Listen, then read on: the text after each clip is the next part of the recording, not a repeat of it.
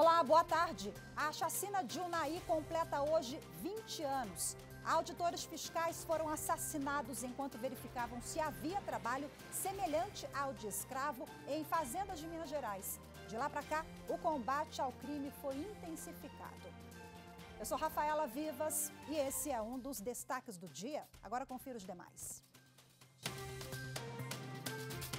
Com autorização do Supremo, Polícia Federal faz mais uma operação envolvendo a ABIN, Agência Brasileira de Inteligência. Na mira, o vereador Carlos Bolsonaro.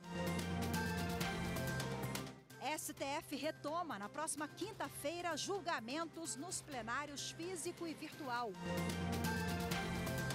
E ainda, Tribunal de Justiça de Mato Grosso promove curso sobre linguagem simples nas decisões judiciais.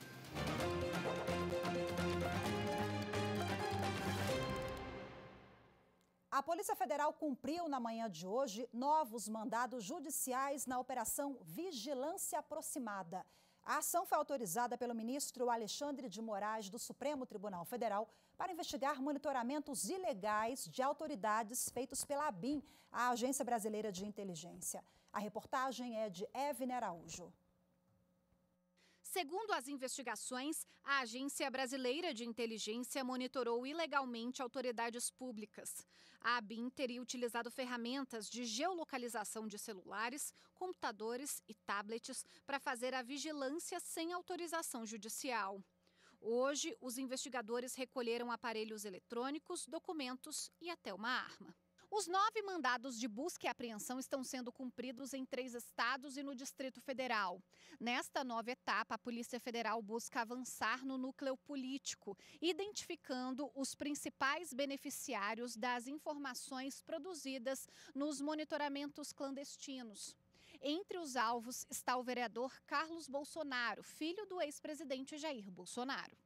Na semana passada, a Polícia Federal já havia cumprido mandados judiciais na mesma operação. A medida também foi autorizada pelo ministro Alexandre de Moraes do Supremo Tribunal Federal. Na ocasião, a busca e apreensão ocorreu em endereços ligados ao ex-diretor da ABIN e atual deputado federal Alexandre Ramagem. A operação Vigilância Aproximada tem repercutido inclusive no Congresso Nacional. Em nota, o presidente do Senado, Rodrigo Pacheco, disse que vai encaminhar ao STF ofício pedindo os possíveis nomes de parlamentares clandestinamente monitorados pela Agência Brasileira de Inteligência, dada a gravidade que um fato dessa natureza representa. Os investigados pela Polícia Federal podem responder pelos crimes de invasão de dispositivo informático alheio, organização criminosa e interceptação de comunicações telefônicas, de informática ou telemática sem autorização judicial ou com objetivos não autorizados em lei. Nesta quinta-feira, dia 1 de fevereiro, o Supremo Tribunal Federal abre o ano judiciário de 2024 e retoma os julgamentos nos plenários físico e virtual. Confira as principais pautas para o mês na reportagem de Carolina Chaves. Serão seis sessões de julgamento no plenário em fevereiro. A primeira sessão, na próxima quinta-feira, será a solenidade de abertura do ano judiciário 2024 marcada para as duas da tarde. Já na primeira sessão estão previstos quatro julgamentos, dois de repercussão geral, como que discute o regime de bens no casamento e uniões estáveis de pessoas com mais de 70 anos. Esse processo é da relatoria do presidente e ministro Luiz Roberto Barroso. O segundo item da pauta é um recurso extraordinário, também de repercussão geral, mas da relatoria do ministro Alexandre de Moraes. No Supremo, o INSS questiona a decisão do Superior Tribunal de Justiça que admitiu a aplicação da revisão da vida toda para aposentados e beneficiários que contribuíram para a Previdência antes de novembro de 1999. Ainda no mês de fevereiro, foram pautados julgamentos de ações da chamada Pauta Verde, que cobram ações do governo federal no combate ao desmatamento e queimadas na Amazônia e no Pantanal. E o processo que se discute em nome da liberdade religiosa, a liberação do uso de bonés, chapéus, lenços e outros adereços para fotos de documentos civis. Durante o recesso forense e as férias dos ministros do STF, os prazos processuais foram suspensos e voltam a contar a partir desta quinta-feira. Este mês também serão retomados os julgamentos no plenário virtual e estão previstos mais de 600 processos para serem analisados na ferramenta. Entre os temas estão o ingresso de mulheres nas polícias militares nos estados, concessão de benefícios fiscais sobre produtos agrotóxicos e ações penais contra pessoas denunciadas pela Procuradoria-Geral da República por participação nos atos antidemocráticos do dia 8 de janeiro de 2023. O Superior Tribunal de Justiça anulou todas as decisões judiciais que foram tomadas após a falência da JR Diesel, uma das maiores empresas de desmanches da América Latina. A decisão manda cumprir um despacho anterior do próprio STJ que havia anulado a falência da empresa. As informações com a repórter Catiúcia Neri. O vice-presidente da Corte, ministro Og Fernandes, no exercício da presidência, tornou sem efeito decisões proferidas pelo juízo da sétima vara civil de Osasco, em São Paulo, no curso de processo de recuperação judicial da JR Diesel. O juízo da recuperação praticou atos recentes sob o entendimento de que estaria decretada a falência da empresa, contrariando decisão do STJ que havia afastado esse entendimento. Em dezembro de 2023, o ministro do STJ, Marco Buzzi, em julgamento de recurso especial, cassou o acórdão do Tribunal de Justiça de São Paulo, que havia decidido pela transformação da recuperação da JR Diesel em falência. Na ocasião, o ministro considerou que o TJSP extrapolou o pedido do credor, que havia requerido a adequação ou a apresentação de novo plano de recuperação judicial, mas não o reconhecimento da falência. Em reclamação dirigida ao Superior Tribunal de Justiça, a empresa alegou que o juízo de Osasco, ao prosseguir nos atos de concretização da falência, descumpriu a decisão da Corte. Para o ministro Og Fernandes, os provimentos do juízo da recuperação, de fato, afrontaram a decisão anterior do STJ, uma vez que a cassação do acórdão do TJSP impede prática de qualquer ato sob a premissa de que tenha sido decretada a falência da sociedade empresária. Desta forma, foi deferida liminar para tornar sem efeito todas as decisões proferidas pelo juízo da recuperação que tenham como base o acórdão cassado pelo STJ. Um supermercado no Paraná foi condenado a indenizar uma trabalhadora com câncer que foi demitida um dia após ter apresentado atestado médico. A decisão foi da sétima turma do Tribunal Superior do Trabalho. A reportagem é de Samanta Flor. A auxiliar de panificação já estava em tratamento quando foi contratada pelo supermercado. A profissional havia sido diagnosticada com linfoma não Hodgkin, um tipo de câncer no sistema linfático que se espalha pelo corpo de maneira não ordenada. Anos depois, a mulher recebeu a notícia de que a doença tinha progredido e havia um tumor na garganta. Ela disse no processo que durante a pandemia pediu afastamento por recomendação médica e que no dia seguinte foi demitida sem justa causa. Na justiça, a empregada pediu reparação por danos morais por entender que a dispensa foi discriminatória.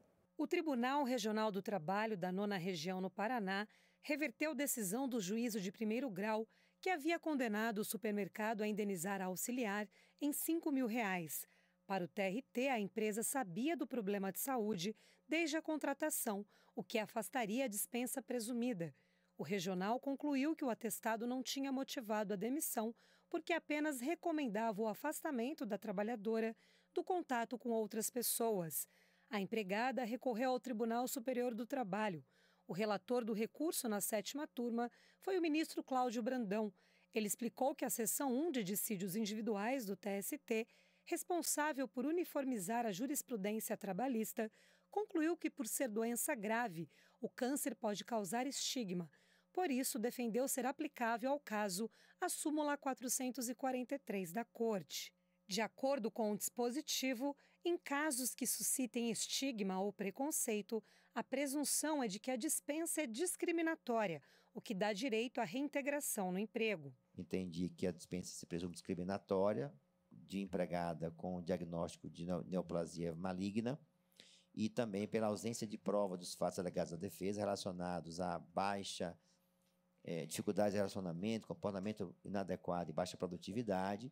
Incide, no caso, repito, a súmula 443, razão pela qual eu conheço de recurso de revista por contrariedade à citada súmula. Por unanimidade, o colegiado restabeleceu a sentença e auxiliar de produção deve receber indenização por dano moral. O supermercado apresentou embargos ainda não julgados. A seguir, chacina de Unai completa 20 anos. Auditores fiscais foram mortos durante fiscalização de combate ao trabalho escravo. Vamos falar em instantes dos avanços na legislação e no combate a essa conduta no país. Os detalhes em instantes, voltamos já.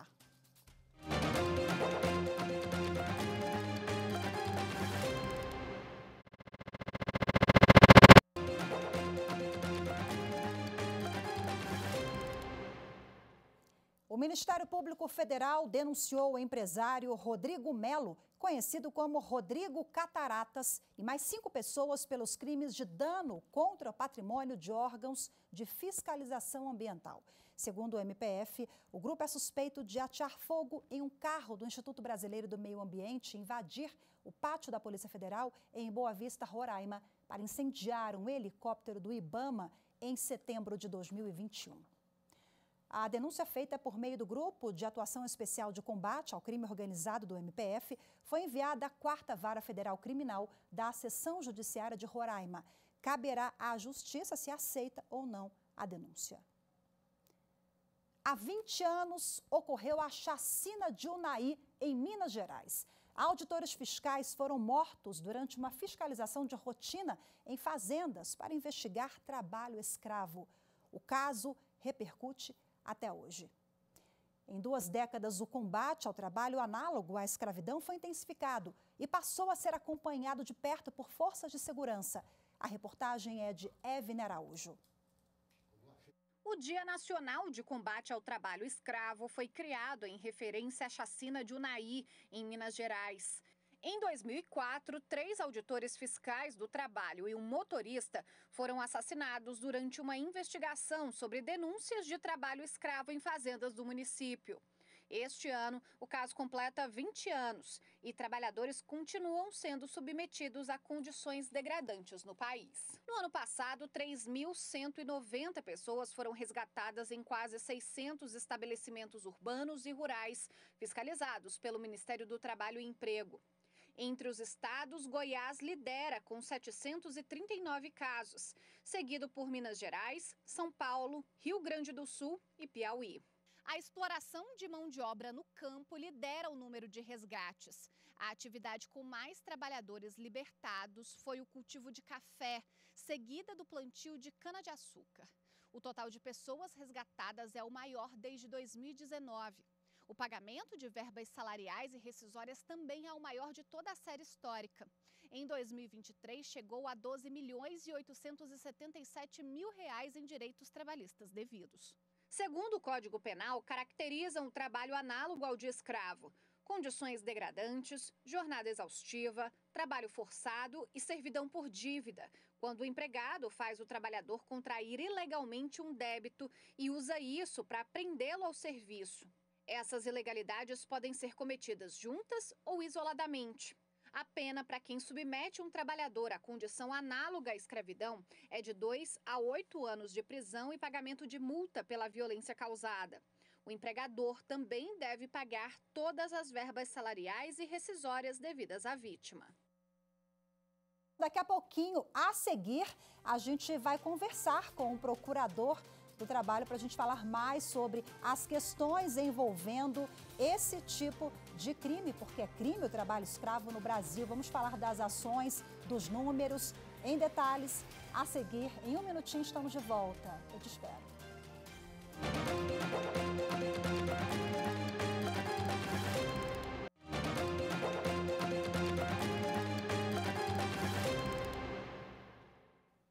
Jornal da Justiça de volta ao meu lado, procurador do trabalho, doutor Paulo César Antum de Carvalho.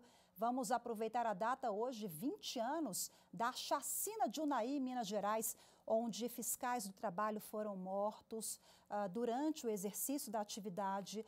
foram mais uma vez pegar ali, combater o trabalho escravo ah, por meio de uma denúncia e essa tragédia aconteceu 20 anos. Vamos falar um pouquinho né, dos avanços durante essas duas décadas, doutor Paulo. Esse crime chamou a atenção do país inteiro, mas acendeu o radar também né, ah, de ações que foram intensificadas, outros atores envolvidos para ajudar o Ministério Público nesse trabalho, a Procuradoria do Trabalho, enfim, eu queria que o senhor falasse para a gente os avanços e os gargalos ao longo dessas duas décadas. Então, boa tarde, Rafaela. O maior avanço que a gente pode identificar desde aquela época foi a criação do Grupo Especial de Fiscalização Móvel em 95. De lá para cá, os resgates vêm acontecendo de forma crescente, tanto que no último ano a gente teve o maior número da série histórica, não só por meio de muitas denúncias que a gente vem recebendo a mais a cada ano, mas também em razão do grupo móvel estar utilizando a tática da busca ativa em relação às atividades econômicas que são constatadas nessa série histórica uma, a maior quantidade de resgates. As denúncias estão aumentando também? Daí, é, é, esse número, o senhor citou, o número do ano passado foram 3.190 pessoas resgatadas em todo o país. As denúncias estão aumentando. Eu creio que as pessoas estão perdendo o medo de denunciar. No, no ano passado, o Ministério Público do Trabalho teve pouco mais de 1.300 procedimentos instaurados com esse tema, trabalho análogo ao escravo. E, sem dúvida, o que a gente percebe é a, o medo da, do trabalhador de enfrentar a situação e chegar até as autoridades, literalmente pedindo ajuda. Em alguns casos, esse termo, ajuda, é escrito na própria denúncia. Uhum. E também até os vizinhos, as pessoas né, que estão observando alguma coisa errada, elas também têm medo, porque uh, em muitos casos nós vemos uma verdadeira organização criminosa ali uh, uh, coordenando aquelas ações, né? É, você citou muito bem a questão dos vizinhos. A gente pode puxar o gancho para o trabalho escravo doméstico, uhum. Que a gente também tem visto um aumento expressivo e justamente em razão do medo da denúncia. As pessoas não precisam ter medo. Elas podem denunciar, inclusive, de forma anônima. A gente vai fazer o levantamento das informações necessárias para cada situação e vai agir. Então não precisa ter medo de denunciar. Esse ano vocês vão lançar uma campanha uh, nacional justamente com esse foco, o trabalho doméstico, né? O trabalho escravo doméstico é cultural no Brasil. Às vezes a, aquele trabalhador doméstico ele não se observa como vítima de um trabalho escravo, assim como o patrão acha, né, que olha é uma pessoa da família. Essa é frase pronta, né? A frase feita já a gente escuta muito. É, a gente observa que no trabalho escravo doméstico, a questão da invisibilidade é o que mais atrapalha ao combate do trabalho em condições análogas a de escravo. É, essa frase feita de, de ser da família, a gente não costuma aceitar como fundamento ou, ou como justificativa para aquela situação, em razão da, da pessoa não ter acesso aos serviços básicos de saúde, educação, alimentação diferenciada, faz o trabalho doméstico normalmente, na maioria das vezes sem remuneração, não tem um local adequado para dormir. É, é realmente algo que a sociedade deve ficar atenta e sim, se o seu vizinho estiver com uma postura estranha, com uma empregada, normalmente a mulher mais de 90% das trabalhador, dos trabalhadores são mulheres e mais de 65% são negras. Uhum. Esse é um dado expressivo. E caso a pessoa observe o vizinho com essa conduta suspeita, faz a denúncia. Não, não custa nada, pode ser anônima. Vamos aproveitar e colocar os canais. Quais são os canais, doutor Paulo, quem nos acompanha agora e quer denunciar? Pode denunciar pelo Disque 100, é um atendimento muito simples, fácil. Pode também fazer pelo site do Ministério Público do Trabalho, www.mpt.mp.br, na aba Denúncias. Uhum. E, sendo solicitado o sigilo, o sigilo vai ser garantido na fase preliminar. Então, Paulo, explica para a gente, geralmente, uh, o modus operandi, né, como a gente usa, escuta falar no, no, no direito, a forma de atuação desses aliciadores, ela geralmente é parecida? Seja uh, aquele trabalhador que é, é aliciado no eixo Rio-São Paulo, ou que vai para a fazenda, ou jogador de futebol, atleta que pensa né, que vai para uma jogar no time de futebol fora do país, independentemente da, do ramo ali. Qual é o modo de atuação deles, via de regra? Normalmente, o empregador ele vai se valer de um intermediário chamado de gato, vai fazer propostas mirabolantes de ganhos extraordinários, de condições de trabalho que não vão ser verificados né, na localidade quando o trabalhador chegar lá. Muito ao contrário, já vai chegar com uma dívida enorme, vai ser cobrada, vão ser cobradas as despesas da viagem, de estadia, Muitas vezes, os, os, equipamentos para o trabalho são cobrados do trabalhador ele fica com essa dívida e, por incrível que pareça, não consegue sair do trabalho sem quitar a dívida. Tem um sentimento é, de que deve pagar esse valor totalmente indevido, mas não se ausenta, fica lá até conseguir pagar e não vai, não vai conseguir nunca, porque outras dívidas são acrescentadas e o trabalhador fica preso no termo do artigo 149 do Código Penal, é a servidão por dívida. Uhum. Então, isso sim caracteriza o trabalho análogo a escravo. Rapidinho, para a gente finalizar, a punição é adequada na avaliação do senhor? Pelo que eu vejo na prática, a punição ainda está muito aquém do, da realidade que a gente encontra.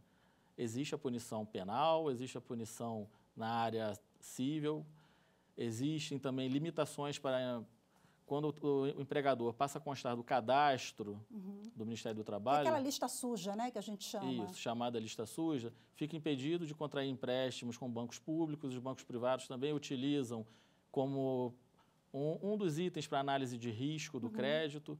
Então, existem algumas punições, contudo, no meu modo de ver, é muito aquém do que deveria ser precisamos avançar e muito também nessa questão. Né? Doutor Paulo, muito obrigada pela participação do senhor Conversei ao vivo aqui na TV Justiça com o doutor Paulo César Antum de Carvalho, que é procurador do trabalho. Boa tarde para o senhor e até a próxima. Obrigado, boa tarde. Em Mato Grosso, a Justiça quer adotar um formato acessível nas decisões judiciais para facilitar a compreensão de todos. Durante dois dias, o tribunal realizou um curso sobre o tema. Acompanhe na reportagem de Fernanda Fernandes. O curso online de Linguagem Simples e Direito Visual abriu o calendário de capacitações de 2024 do Judiciário de Mato Grosso. Oportunidade em que magistrados e servidores de diversas comarcas aprenderam sobre conceito, legislação, ferramentas e a importância de tornar a linguagem jurídica compreensível a todos os públicos. Eu acredito que tem muita importância, muita relevância esse curso, essas orientações porque como foi dito, foi explanado aqui, nós trabalhamos diretamente com a sociedade e em sua maioria são pessoas muito simples, muito humildes, então elas precisam, elas que nos procuram e elas precisam compreender isso que está sendo repassado para elas. O curso atende a uma recomendação do Conselho Nacional de Justiça para que os tribunais brasileiros implementem o uso da linguagem simples em todas as publicações e atos que editem. E aqui em Mato Grosso, ele é fruto de uma parceria entre a Escola Superior da Magistratura, a Escola dos Servidores e o Laboratório de Inovação do TJMT, que inclusive lançou um manual sobre o assunto. A cartilha digital, disponível na página virtual do InovaJus, traz uma série de informações de forma bem didática, com ilustrações, artes e, claro, texto bem simples. A ideia é democratizar o entendimento e tornar o judiciário estadual ainda mais inclusivo. A ideia da, dessa capacitação é, é, fazer com que as pessoas consigam, mudem a forma de se comunicar realmente com esse público nosso, com as pessoas que recebem as nossas decisões, recebe os nossos expedientes, nossos mandados, cartas, é, com o objetivo de tornar mais fácil para as pessoas entenderem o que, que nós estamos é, determinando, é, pedindo, para que eles cumpram, né? Nós temos que eliminar o juridiquês, né? nós temos que operacionalizar ferramentas e recursos, nós temos que ter uma comunicação clara, porque é essencial para o judiciário essa comunicação clara. A comunicação tem que ser clara e direta. Contagem regressiva para o carnaval. Em Minas Gerais, a Justiça promoveu uma reunião com representantes de instituições como Prefeitura de Belo Horizonte e a Belo Tour, empresa municipal de turismo de Belo Horizonte, para alinhar as ações. Confira agora na reportagem de Cid Marcos. O presidente do TJMG, desembargador José Arthur de Carvalho Pereira Filho, conduziu a reunião sobre o carnaval realizada no auditório do Pleno, na sede do TJMG em Belo Horizonte. O encontro durou cerca de uma hora contou com a presença de instituições ligadas à organização do Carnaval em Belo Horizonte, como Belotur, Polícia Militar, Guarda Municipal e BH Trans. Todos os preparativos já feitos pela Prefeitura foram apresentados na reunião.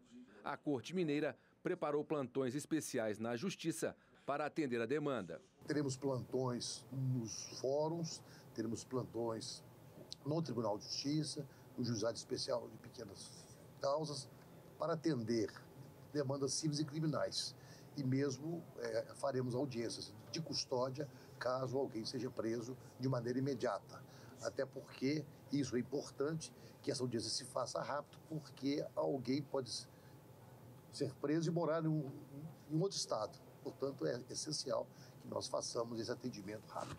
Então, o que eu posso afirmar de maneira muito tranquila é que o tribunal está totalmente preparado para receber as demandas que possivelmente advenham desse carnaval. O carnaval de Belo Horizonte vai movimentar a cidade. A previsão da prefeitura é de que 5 milhões e meio de foliões participem da festa. 536 blocos de rua foram cadastrados. Um esquema especial 24 horas por dia foi montado envolvendo as forças de segurança. Antes de mais nada, a importância né, do senhor presidente José Arthur receber a prefeitura para que a gente possa não só apresentar né, todas as ações que a prefeitura vem fazendo, mas também para que a gente possa então garantir tudo que o Tribunal de Justiça precisa para que os trabalhos do tribunal não sejam paralisados por nenhum dos problemas ocasionados pelo carnaval. O período oficial do carnaval de BH vai de 27 de janeiro a 18 de fevereiro. Ficamos por aqui. Muito obrigada pela sua companhia. Boa tarde. Até amanhã.